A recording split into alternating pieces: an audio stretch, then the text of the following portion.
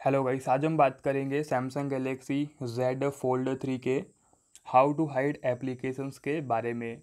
Video start करने से पहले आप लोग हमारे यूट्यूब चैनल को सब्सक्राइब कर लीजिएगा बेल के आइकन को प्रेस कर लीजिएगा।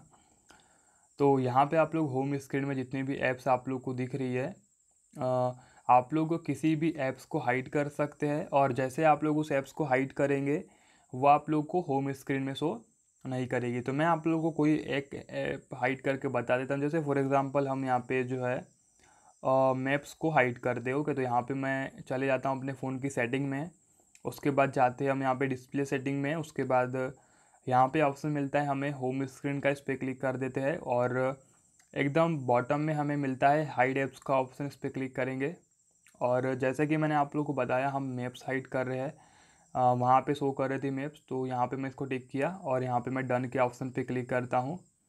अब देख सकते कि यहाँ पे जो मैप्स थी, वो अब शो नहीं कर रही है। शायद से अब मैं सर्च करूँगा तो भी शो ना करे तो बेटर है। यहाँ पे शो कर रही है वो होम स्क्रीन में, यहाँ पे देख सकती हो। बाकी जो है, अगर होम स्क्रीन की बात करें तो यहाँ पे वो ऐप जो है नज़र नहीं आएगी। ओके, अगर आप लोग को इसको फिर से अनाइट करना है तो आप लोग को वही सेटिंग में दोबारा चले जाना है।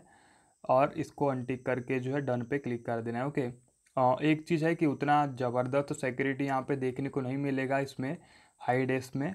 तो अगर आप लोग उतना बेटर सिक्योरिटी नहीं मिल रहा है इसमें तो आप लोग जो है अलग से थर्ड पार्टी ऐप्स भी यूज़ कर सकते हैं एप्लीकेशन को हाइड करने के लिए ओके बट जो फ़िलहाल में जो डिफ़ॉल्ट फीचर था, उसके बारे में मैंने आप लोग को बता दिया है।